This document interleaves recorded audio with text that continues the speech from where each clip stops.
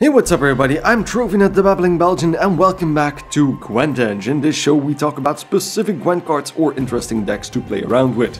Skellige is back baby! One of my favorite factions was hit most by the damage nerfs from a month ago, but the last patch actually made a few interesting changes to the faction which made it viable again. Today's deck is led by one of my favorite OG Gwent leaders, Harald the Cripple. The Chipping Wood deck focuses on dealing as much spread out damage as possible while having enough tools available to counter the most frequently used decks of the current meta. The crux of this deck are therefore the An Craite Greatswords and Dagur Two Blades. The Greatswords boost themselves by 1 every time an enemy unit on the opposite row is damaged, and Dagur does the same but only works when he's on the melee row. Dagur however counts every enemy that gets damaged instead of just the ones on the opposite row. Both these units basically double any damage tick you dish out, so try to have at least one of them present on the board at all times to stay on top of your opponent. That's the base, but this wouldn't be a Skellige deck without some solid removal options. To complement Dagur and the Great Greatswords, we focus on small amounts of damage that trigger multiple times on one or more targets. The An Craite Marauder and Dimun Warship both deal 1 damage 3 times, the former on random enemy targets and the latter on a singular target. The Dimun Light Longship can damage an enemy by 1 each turn while damaging itself at the same time, and the An Craite Longship damages each enemy plate by 1 automatically. Udalryk can damage a unit by 1 on order with 3 charges but gains Zeal when 2 enemies were already damaged. Delirium deals 1 damage to a random enemy on a specific row 6 times, and Sigvald deals either 1 damage on order each turn or 2 damage if he's damaged himself. Remember, all this damage is doubled or tripled points wise depending on the greatswords and Dagur on the board.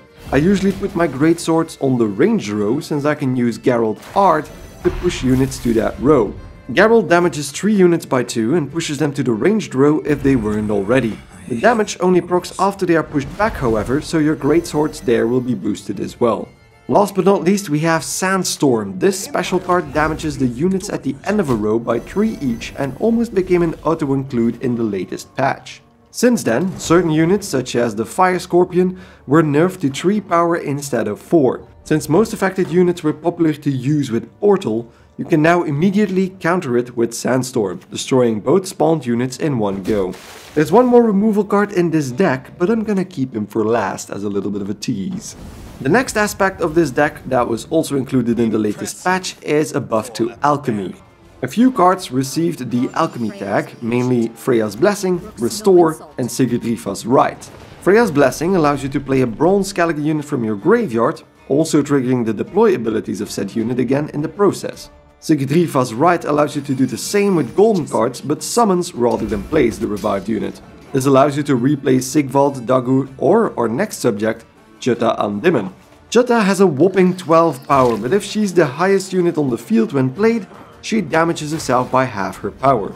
Great swords can easily surpass 12 power however to circumvent this, or you can benefit from the damage by using Restore. Restore was recently changed and also got the Alchemy tag. Instead of just healing, this card also boosts the targeted unit by the amount it was healed. With Jutta, this immediately gives you 12 points, more if she was damaged even further. If Jutta is in the graveyard, you can even use Sigrdrifa's Rite to pull her back at full strength, since her deploy ability isn't triggered, making for an awesome 12 point finisher with minimal setup required. Gremist also changed a bit. His Purify ability is now recharged every time you play an Alchemy card, allowing you to clear multiple locks or bleed statuses. This is great against Nilfgaard and of course the new Vampire Bleeding archetypes, giving you an easy counter for at least one round. Don't underestimate the power of Purify. But talking about finishers, this deck excels at dealing the final blow. Harald's leader ability deals 8 damage spread out across random targets one at a time. With one greatsword and Dagur on the field, this can net you up to 24 points with removal. If your opponent stacked a lot of units on one row, you can finish even stronger with the brand new Hemdall. Originally, Hemdall boosted himself by the same amount that any of your warrior units could dish out in damage. A very powerful unit we used in full in the Warrior Spirit deck from a while back, but because all those points went into the same unit, he was a prime target for Scorch or Reset, making him a very risky play nonetheless. Right now, however, he turned into a better grade oak. The new Hemdall damages a random enemy unit on a row by 1 and repeats this for every unit on that row. Basically a weaker Lacerate you might think, but his measly original 4 power has been buffed to 8 for 12 provisions. This allows you to put down your Dagur earlier so he benefits from both Harald, which should be triggered in the same turn to protect your Dagur, and then Hemdall in your final turn. It provides you with a secondary finisher in case Dagur is destroyed as well. The final card I want to talk about is the Hen Gaidth Sword, probably the most tactical card in this deck. It deals 2 damage, but if you manage to kill something with that 2 damage, you can play a base copy of the destroyed unit on your side of the field. It's perfect to turn a Geralt or Yennefer card back at your opponent, or even play a high power card if you can whittle it down enough. This card has a lot of potential, since it basically allows you to steal cards from your opponent. Almost every match provides a new opportunity to use this underused artifact, so give it a try for yourself. Gameplay wise, you should use your bronze damage dealers and ships in the first round in combination with a greatsword to keep the pressure high. Jutta can always be used directly or with Restore to push your point advantage in the first round even further. Try to always take the first round so you have the advantage in the third round. That final round is where the big hitters come in. Dagur, Harald and Hemdall should be your final plays so you limit your opponent's counter possibilities. This should give you the advantage over most Francesca decks, but Ardal is also really prevalent lately. Ardal requires some extra baiting since he has a lot of removal with Joust and Assassination cards.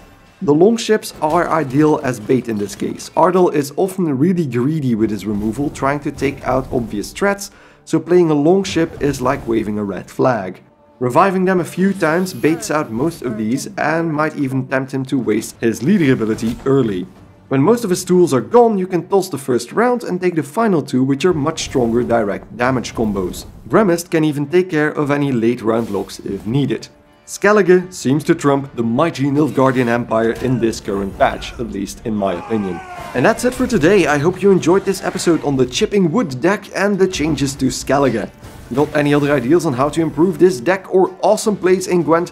Don't hesitate to leave advice in the comment section down below so we can help each other out. That's what we're here for, after all.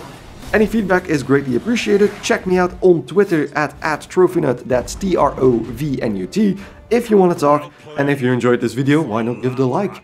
Any support is really appreciated. Thanks enormously for watching, and I hope to see you guys in the next episode of Gwent Edge. Goodbye!